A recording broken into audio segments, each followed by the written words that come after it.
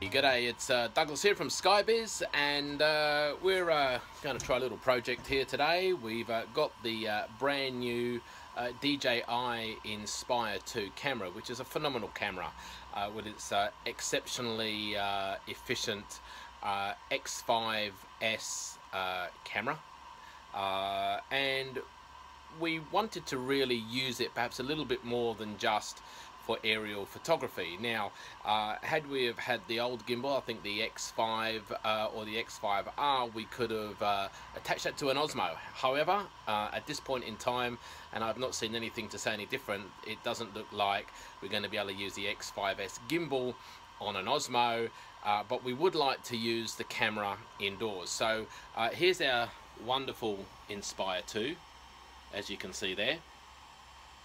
And it's quite a beast and we want to make up some kind of attachment that we can fit to a tripod uh, and actually remove the propellers, bring the unit inside and get that uh, organized as an in indoor camera. The Inspire 2 has a little feature on here which is really cool and this allows you for testing purposes only to be able to raise the legs permanently or uh, as long as you want without the uh, sensors picking it up and automatically dropping it down. But this is what we want to disable.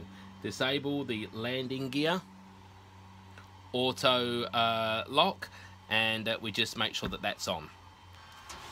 We can go to the unit, press it on here,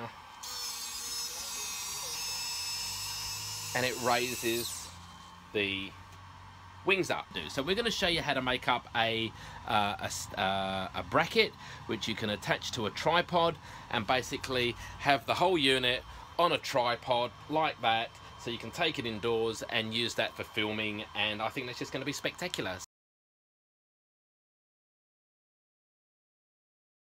So we have some tools here uh, that we think that we're going to need, uh, which is a rivet gun, uh, although you can use a hand riveter if you don't have that. You may be able to get away with just uh, some screws and uh, some bolts, but we've got a rivet gun. We've got a little black strap there that we're going to attach the Inspire 2 to the clamp. There's our actual clamp here. Now this clamp is basically from a builder's hardware.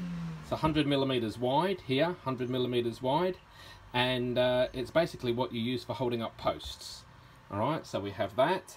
We have our drill. We have some uh, quick release fasteners there uh, uh, uh nuts and bolts. Okay so we have a 3 8 of an inch 16 UNC uh, tap set. And a corresponding 8.5 mil drill. We have a quarter inch UNC 20 uh, and corresponding 5.5 millimeter drill. And then we just have a little pilot drill and we have here some uh, some rivets. And then we have this little thing here which we're going to make up for uh, the Inspire to sit on in the bracket which will basically look a little bit like this when it's all finished. Alright so that will give you an idea so that's pretty much everything that we have here. We're going to have the uh, copter sitting on this kind of bracket here. Alright, and then that will be attached uh, to the uh, to the quick release on our tripod. And we're going to attach all these bits here so that it fits nicely uh, and that will be our stand.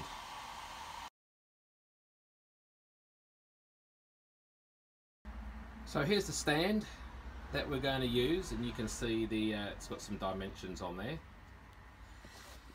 And we've got our little bracing plate in there. In the middle of this we actually do have a uh, a little rivet there. So we're going to use that rivet. We're going to we're going to drill it out in a moment but we're going to use that just to center uh, here so you can see. There it is there. All right and we're just going to mark where we're going to put some drill holes, rivet holes. So we're going to do there, there, there, and there. That's kind of where we're going to drill the holes. And then we've got that one in the middle. So we're just going to drill those first.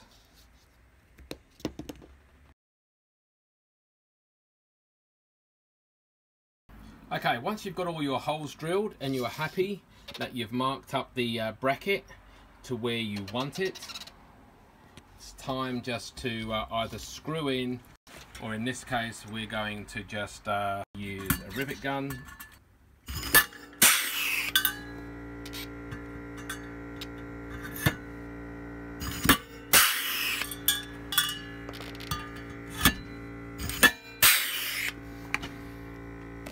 that should make it permanent and strong. But if you don't have a, uh, a rivet gun, you can use nuts and bolts and a uh, or screws if you need to. We want to mark where we want the quarter inch and the 3 8 inch uh, hole uh, to be positioned so that we can just simply screw our uh, quick release plate from the video tripod straight into this bracket. So we think we're probably going to have one here and we'll have of course the other one here and that's of course where we're going to drill our two uh, holes. Okay now once you have drilled your two holes to uh, screw your uh, base plate into from the tripod we actually need to use this to make the thread. So that goes in there.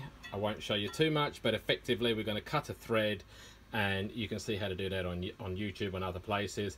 But we're going to cut two threads, one here, one here. It's going to be 3 eighths of an inch. This one's going to be quarter of an inch. As you can see from here, we've now cut our thread and that is going to be perfect for the larger 3 eighths of an inch thread that comes out of our video uh, base plate on our tripod.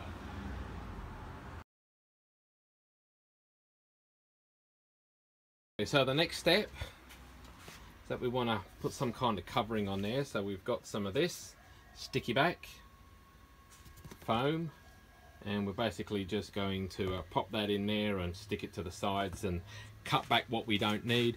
Uh, one good tip, make sure you've got a very, very, very sharp knife so that you get clean, immediate cuts all the way through.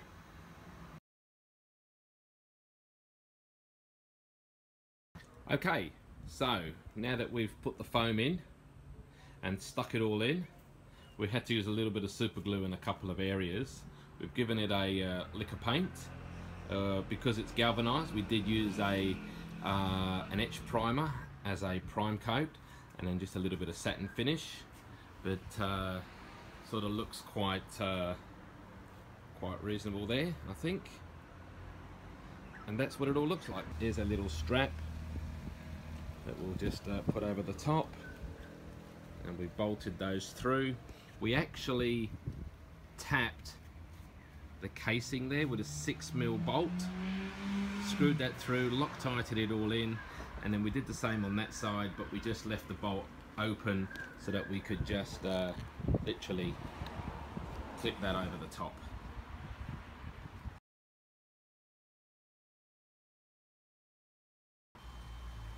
Okay, so here we are with the uh, stand that we've made up and as you can see the uh, the Inspire is really secure, it fits snugly inside there. We've used the strap to pull it over so it's not going to go anywhere. We've got this uh, elongated support here to hold the uh, Inspire there firmly in position. But remember I told you a little bit earlier about switching those legs up. Now, if you don't switch that button on like I told you, as soon as you put the legs up, the sensors will uh, detect and then it will drop the legs back down again as it thinks that it's going to land. You can just lift the legs up, the legs will lift out of the way, and you have this amazing unimpeded uh, view uh, almost 180 degrees of the camera without anything in the way. So it gives us the ability to really nicely and smoothly turn that camera for all those ground shots. It's an amazing camera. You know, if you haven't got another uh, ground camera system, this is all you're ever going to need. Use the different lenses on there, you can zoom in and out. Uh, you really don't need even to use an SLR with this. Uh, it's just a, an all-in-one camera with its 20 megapixels and it's uh, amazing, amazing, up to 5.2K. footage. But you can see it works really well. We're excited. We're going to be using this on all our film shoots now. Uh, so hopefully that was of some use to you. Uh, now, just one little thing. This was a quick throw together video. Uh, it wasn't a, uh, a, well thought out video in as much that we just put it together quickly. We wanted to get the bracket up. I didn't want to spend a lot of time setting up a whole video shoot. So uh, please, no comments on how bad the video looks comes together, but just take what I've given you from it, which is how to make up a fantastic stand. And if we can just get that organised, we're all having a good day. All right, no worries. Over and out. See you soon.